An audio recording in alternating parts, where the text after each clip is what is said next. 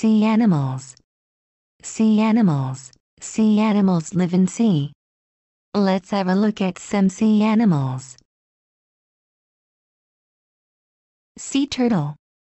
Turtles that live in the ocean are called sea turtles. Sea turtles are reptiles. There are seven types of species of sea turtles.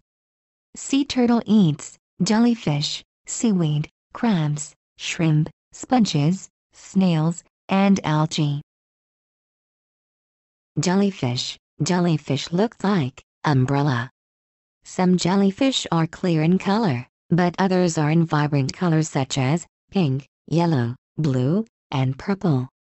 Jellyfish eats fish eggs, tiny fish and other jellyfish. Crab Crabs have a very short tail, which is covered with a thick shell. Crabs have five pairs of legs. Crabs are omnivores, they eat plants and animals.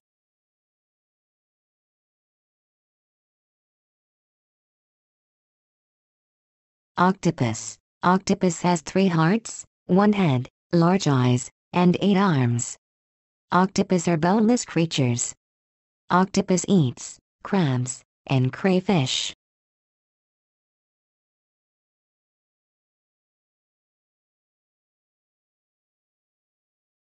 Dolphin Dolphins are mammals.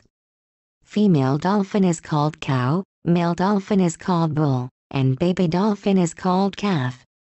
Dolphins communicate with other dolphins using clicking and whistling sounds. Dolphins eat fish and squid.